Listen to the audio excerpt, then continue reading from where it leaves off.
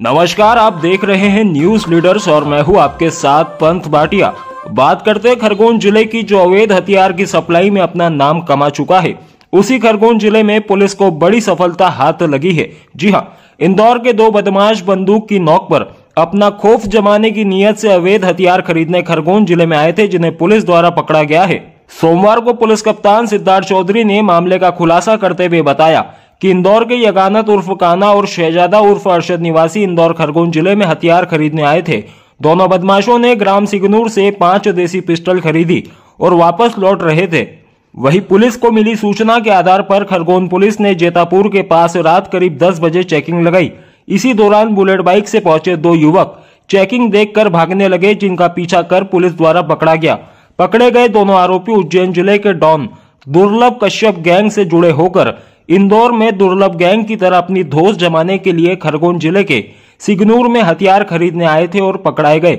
आपको बता दें कि इन बदमाशों ने तूफ़ान सिंह नामक व्यक्ति से हथियार खरीदे जो फरार है। आइए क्या कर रहे हैं? खरगोन ज़िले के पुलिस कप्तान सुनते हैं उन्हीं की जुबानी। अवैध हथियारों के संबंध में सूचना मिली थी कल कोतवाली पुलिस को, जब रात को करीब दस बजे के आसपास एक चेकिंग लगाई गई थी गौगावा से आने वाले रास्ते पे।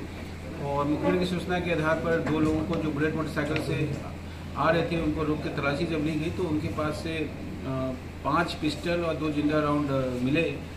और पूछताछ पे ज्ञात हुआ कि दोनों बदमाश जो हैं इंदौर के रहने वाले हैं और इसमें से एक बदमाश थाना द्वारा का, पूरी के प्रख्यात बदमाश है जिसके खिलाफ कई लूट के मामले हैं। इसी प्रकार दूसरा बदमाश जो शहजादा उर्फ़ अरसद है, वो थाना देपालपुर का बदमाश है। दोनों बदमाशों के विरुद्ध कई अपराध पंजीबद्ध हैं।